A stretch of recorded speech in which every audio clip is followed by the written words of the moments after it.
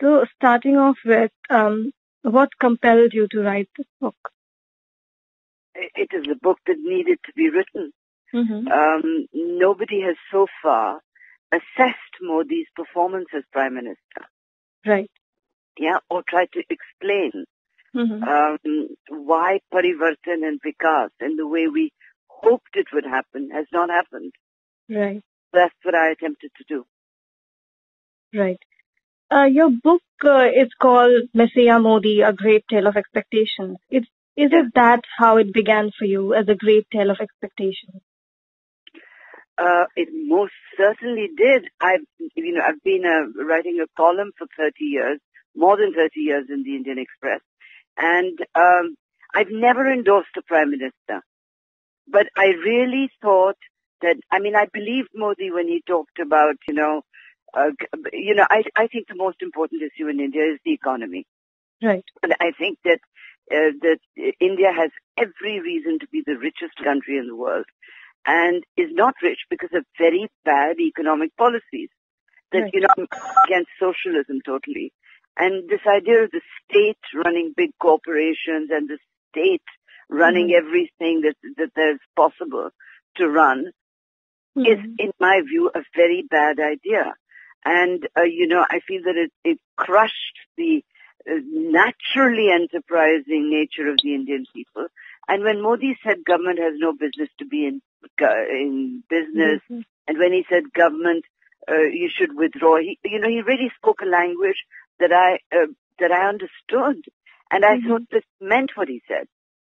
So, you know, I mean, to me, really, I mean, I begin in the prologue by saying that the Yes. messiahs are sought in dark.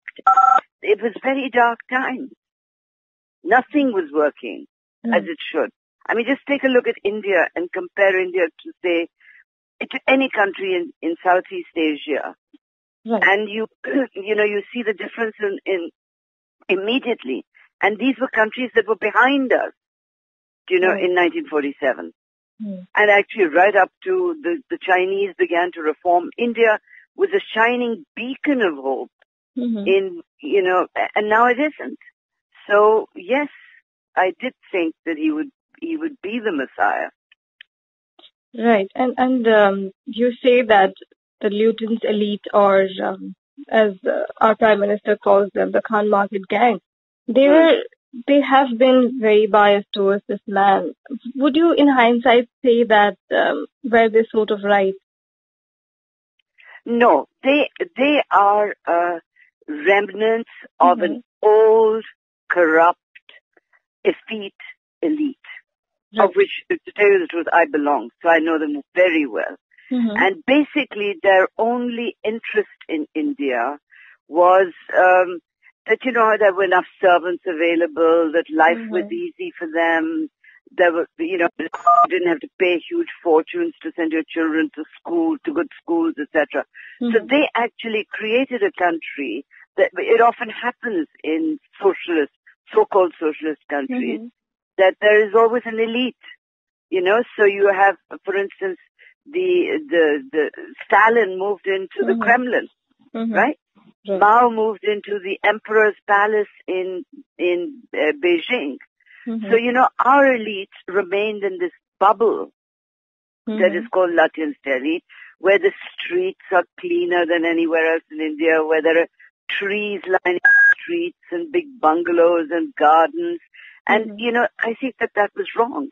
I mean, one of the big causes that I've, you know, championed in my column is that they should, that the, the people, who, the new elite that's moved in, that that's what's so disappointing, is Mhm. that they've taken over the old elite, you know, it's like Animal Farm, you know, I mean, that Yeah. all that we've done is replace one elite with another, and that is very disappointing. Right. Um, so, do you still have hope uh, for this government? Do you, do you, are you still hoping against hope that something will change? Because uh, this is his second time in government, and over six years, well, India has changed drastically. One would say. Um, do you still hope for Modi to, you know, stand true to his words?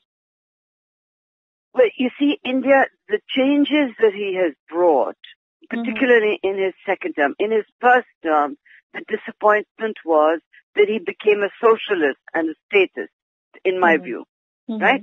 That instead of dismantling this whole machinery of socialism and encouraging free markets and, Mhm. you know, I mean, in my view, free market democracy are the two things that make countries successful. All the all the successful countries in the world are free uh, have free markets and democracy. So in his first term, what was disappointing was that you know I mean even get rid of that retroactive tax Mm-hmm. that Which you have technically allows you to tax people right up to the East India Company. Yeah. You know. So uh, he didn't make the changes. I was very dis- economically he didn't make the, the the change in direction that he promised. And uh, in his second term, in these past six months, Mhm. the, the parivartan that he's bro- brought uh, could lead India to be broken up once more. Right. Because, you know, everything that has been done um, has been done almost to sort of tell Muslims that they Mhm. better behave or they can't live here. Right. And that is a very, very bad idea because we're not talking about a small minority. You know, like the Sikhs Mhm. Yeah. when after Mrs. Gandhi was killed, the Sikhs went through a, a, phase, a phase where they were treated like kind of, you know, lepers almost. Huh? Mhm. But, you know, we're only 16 million people. The Muslims are 200 million people, Mhm. near close to 200 million people. It's not, um, it's not a minority. You know, this, this is a, a big um, uh, mistake that our, you know, political leaders make by saying the Mhm. minorities. This is the second largest majority in India. Right. They were able to break up this country once. Mhm. And the ones that stayed here hoped that this would be a better place than living in an Islamic republic. And it has been a better place. Right. It has been, you know, a liberal democracy, whatever its other flaws. Uh, the failures have been economic, Mhm. but not social and, you know, even political. There's been failures in the sense that we've been ruled by one family for a very long time. Mhm. And, you know, Modi was actually a welcome change after that. Right. Yeah. Yeah. But the this this very hard line kind of fanatical hatred of the Mhm. Muslim community that the that certainly uh, his ministers have been showing, you know, uh, is Mhm. horrifying. I mean, you know, to have a junior minister of finance Yeah. do yeah. that, you know, goli maro Yeah. salon I mean, it's it's beyond horror. Yeah. It's, it's appalling. Hmm? It's And that means that officials are going to decide whether you are Indian or not, and officials are Mhm. going to decide whether you're a traitor or not. I mean, I, I, I'm not even Muslim, and I Mhm. had, I don't think that any official has any right to ask me if I'm Indian. Right. I was going through one of your columns uh, recently, and I think it's uh, for the last column that you had written in the Express. You mentioned this one line that says, uh, "Painting all Muslims with the same brush weakens Yeah. uh, India's attempt to fight the real jihadists."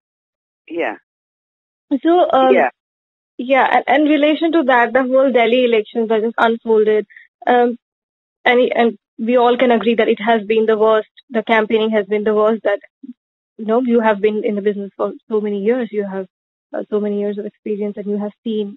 We are rather young. We have seen. Um, so, how do you think Delhi elections and the whole um, Delhi and the Khan Market gang that Mr. Modi talks about, and everything plays up in the future? Well, for a start, he should stop talking about the Khan Market gang because the Khan Market gang is now his lot. Right. We Okay. are irrelevant. The old elite is is dead. Mhm. right? It's their guys in Khan Market. It's their men sitting in Lutyens Delhi. Mhm. It's their men who are actually going to flatten. You know, my uh, grandfather was one of the people who built the city of New Delhi, Yeah, one of the read. five factors. Yes. And uh, I'm actually very, very, uh, you know, shocked at this unknown architect being brought in from Mhm. Ahmedabad to actually deface Mhm. what was built as the central district, which is the heart Mhm. of Delhi. So, you know, I mean, let- let's stop talking about this Khan Market gang nonsense. They are the Khan Market gang now. And, you know, I, I, I'm, I really fear Mm-hmm. That they, but they're not, they're not only just rewriting history, but they're, you know, rewriting Delhi. I mean, look what they're doing it uh, without any consultation, without any debate. They've decided that there's going to be a new parliament building, which yeah. in the diagram looks like, you know, I don't know, like something that should be on mm-hmm. Mars, you know. I mean, why yeah. is there no debate about this? You know, the whole point about democracy is mm. that, that you have some discussion before you make these drastic changes that they're making to the city of Delhi. So let's not have any more nonsense about Khan Market gangs. Mm-hmm. They are the Khan Market gang now. Right. And um, you have mentioned in your book that he lacks company, he lacks friends. friends.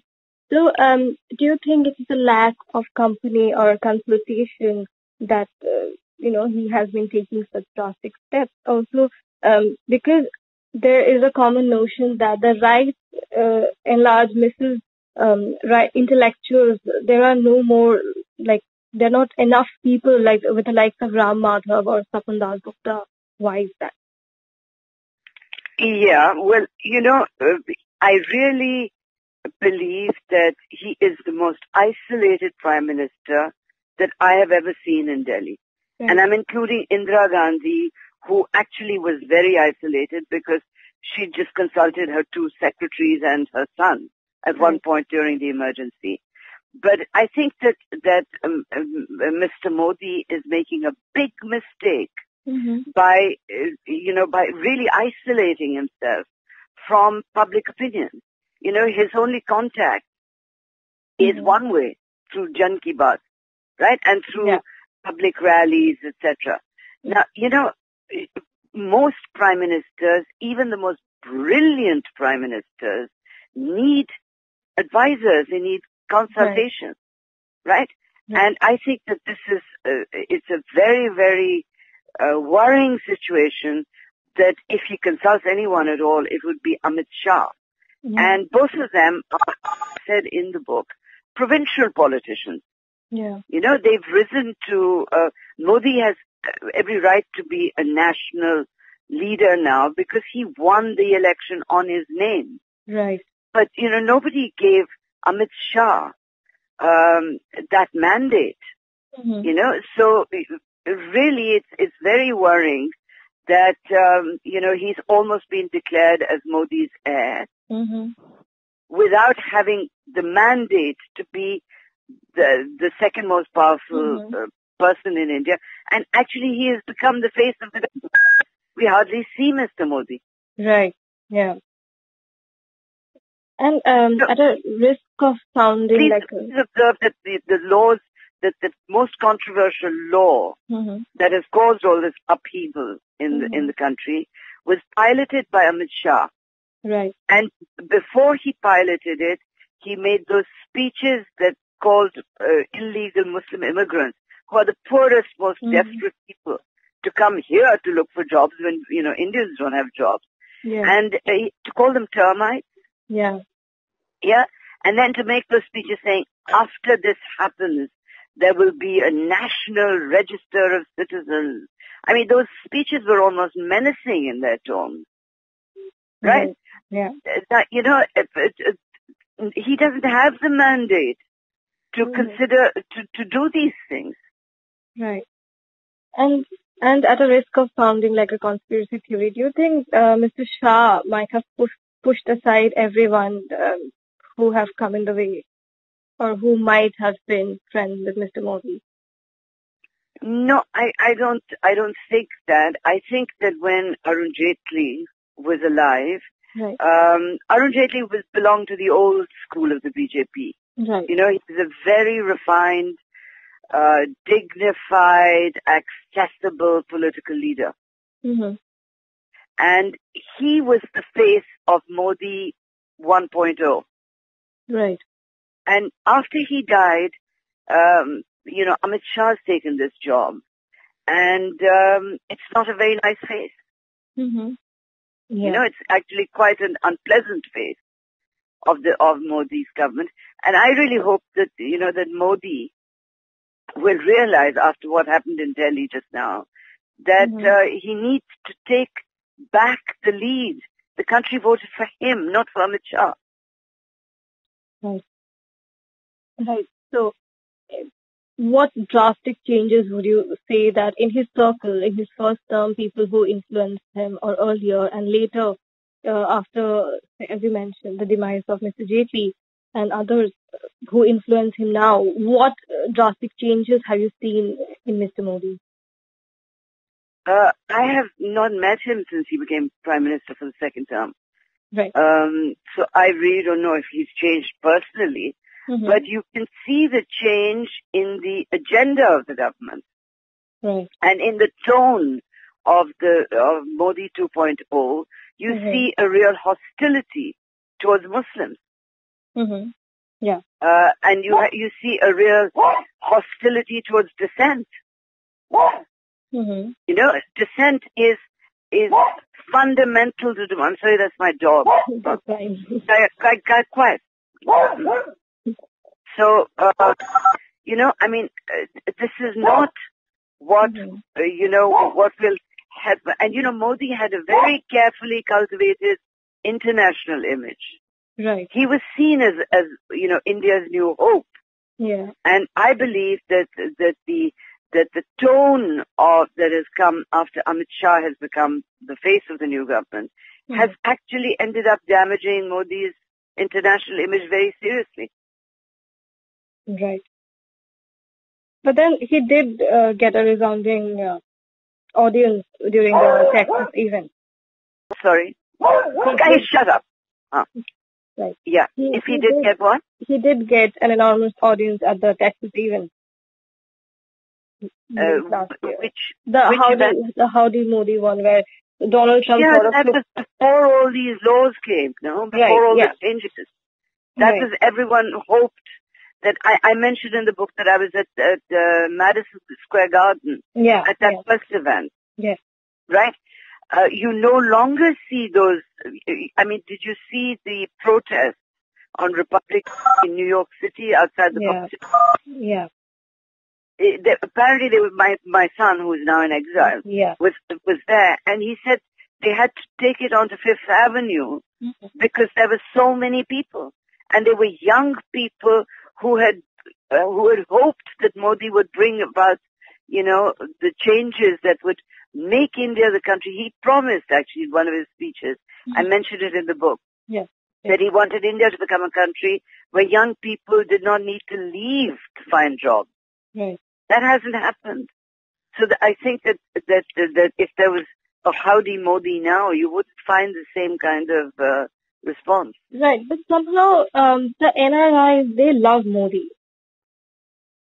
Well, They you see, yeah, go on. Yeah, they have been um, there again during the Howdy Modi event or otherwise. If you uh, see NRIs, they seem to be highly supportive of Modi. Now, after the law, things have uh, moved a little bit, but then uh, more or less they have been fond of this man, rather this, his image that he has built. Well, you see, um, I, I don't blame them for it. Huh? Until this, uh, until the the damage started being done to his image, you know, you could be proud of him. You had a prime minister for ten years Right. who was not really an elected prime minister, but a selected prime minister, Yeah. selected by the president of a political party, Right. right? And, you know, whatever Dr. Manmohan Singh's uh, uh, good points uh, Mhm. in his earlier, uh, you know, avatar as, as finance minister, I was one of his biggest fans. But Right. as prime minister, he was a disappointment because he was taking orders hmm Yeah. from the Congress president. So after that, and I think that a lot of Indians living abroad were a little ashamed, you know, hmm that this uh, foreign woman, you know, was ordering around the Indian prime minister, um, and you know, really pulling the shots from behind the throne. So Modi looked very good then, and probably still does to a lot of NRI. Right. And um, since you mentioned about your son, Aatish, I must raise this question that how do you feel about, do you feel betrayed by the Indian government? Absolutely. Mhm. Absolutely. Aatish has grown up in India. He came here when he was two when I when you know I brought him to India. Right. He was given a multiple entry visa as long as he was my legal ward. Mm-hmm. When he turned 18, um, I went to apply for, you know, uh, another multiple entry visa or to Mhm. ask them what to do. And they said, uh, you know, take, make him a PIO. Mm-hmm. He didn't meet his father till he was 22 years old. Mm-hmm. And he, you know, he had a brief relationship with the father and the father got killed. Yes. Right? Yeah. And all these, the, O- the PIO was automatically changed to, uh, uh, OCI or whatever. Yeah. And um, this Pakistan thing, you know, Pakistan parentage, etc., was Mhm. put in later. You know, when they were doing the OCI, right? Yeah. And even within the law, there are exceptions possible, as they've made for Adnan Sami. Right. Right. Now, right. Now, So um, you know, obviously, it's a vindictive act, and uh, you know, it's awful. it was weaponizing citizenship. And now we notice that this is, Mhm. you know, they're weaponizing it on a much bigger scale. hmm do you think, and this comes after his uh, article was published in the time. Without question. And As soon as it Mhm. appeared, uh, Mhm. Sambit Patra and other kind of, you know, BJP spokespeople Mhm. people said he's Pakistani. You know perfectly well he isn't Pakistani. yeah. And, you know, even the Prime Minister said, the writer himself says he had a Pakistani father. Yes, he did. A Mhm. Pakistani father who died fighting fanaticism. Mm, Right. Yeah. That, that's true. I mean, these people who they want to rescue from, um, uh, from Pakistan now, Mhm. people, uh, you know, people who, who are being persecuted for their religion. Uh, Salman Taseer died defending a Christian woman Mhm. on throw for blasphemy. So, you know, I mean, it, it, it, be ashamed of, you know, Okay. in that Pakistani connection. Absolutely. Mm. And um, see, today you said that you have not met him since he, his second term, but uh, if today you were granted private audience with him, what advice, if he seeks your advice, what advice would you like to give him? Well, he's unlikely to take my advice, but I would tell him straight away to Mhm. change the tone of this government. You know, he's already announced that he, they're not going to have this NRC nonsense. Yeah. But um, he needs to win. He needs to live up to Sabka Vishwas. He's lost it at the moment. Right. Without question, the Muslims don't trust him. As we can Mhm. see, the Shaheen Bagh replicas have Mhm. popped up all across the country. Yeah. And if I were Muslim, I would be scared. Mhm. There's a menacing tone. So I would tell him first, stop that, Mhm. right? Secondly, win back the trust, the Vishwas of Kashmir. Yeah. How long is it going to be, you know, under lockdown? And, Yeah. you know, is it a good idea to lock up two chief ministers under, uh, you know, and under the NSA? Mhm. Three actually, Farooq Yeah. Abdullah is not out either. You know, where is Sabka Vishwas? So I would tell him, you know, please win over Sabka. And thirdly, get the economy, please m- Mhm. move the country in a direction in which private entrepreneurs Mhm. will trust the government. Right. And um, talking about the economy, it's been uh, six years low. The GDP fell at uh, 4.5%, the rate. And were you, were you impressed by the budget this year? Not at all. Mm-hmm. Not at all. Okay. It was just, uh, you know, I mean, I didn't know whether to laugh or cry at the end of it. Because I, I actually wrote against it. Mhm. You know, that new direction is what people are looking for in the budget. Mhm. Where you get rid of regulations that are not needed. Where you get rid of taxes that are not re- needed. Where Mhm. you actually create an atmosphere. Do you know, I live in Bombay Mhm. and, and, uh, I have a lot of businessmen. Mhm. every regulator in this country thinks that he's a little god now. Right. And, you know, the, the, the, the, the harassment that goes on Mhm. is just extraordinary. It's not, it wasn't much better under Sonia Gandhi, by the way. Mhm. But, you know, the, what we hoped for was a messiah, right, who would change all that. Right. So, so you think he has failed the people of this country? I think that so far, uh, the expectations that we had of him have been betrayed. Right. Right. And we still have four more years for this. Are you um, recording all this? I hope you are. Yes, ma'am. I am. Yeah? Okay. Yes. Because, you know, I don't want to be misquoted on any of No, this. no, no, no, no. Don't worry Hmm. Um, we still have four more years of his government this term. So, Yeah. um, as you mentioned that those three things that he has to win back the trust, uh, get the economy on the feet, and um, again tone down the government. What do you, if at all he does take some lessons from what happened in Delhi or what is happening in the country, what do you Hmm. really hope for in the in the next four years? And are you still rooting for him? Well, I just said, uh, you know, the, the, the, those are the four things I'm hoping for. Mm-hmm. He has to win back Sabka Vishwas. Yeah. Yeah. Uh, Vikas is not going to happen until private industry in India starts in, uh, investing. They're not investing yet. Right? Right. The big projects that, that they're dreaming of, the big, you know, trillion, five trillion dollar economy that you hope he'd be able to create. I don't Mhm. see any sign of it until private businessmen start to, to invest in India. Right, ma'am. But somewhere deep down, are you still rooting for this man to, you know, become Am I still rooting for him? Yeah. Well, you know, I um, believe in democracy. He is the choice of the people of India. Mm-hmm. He has the right to make decisions for the next four years. So I wouldn't say that I'm madly hopeful Mhm. about it, Mm-hmm. but I think he has to be given a chance because the people of India have given him a chance. Mm-hmm. You know, I mean, uh, only somebody who didn't believe in democracy would say, you know, I reject the Mhm. mandate that's been given by the Mhm. people of India. Right. Right. Um. Yeah, I think that's the end of the questions. Okay.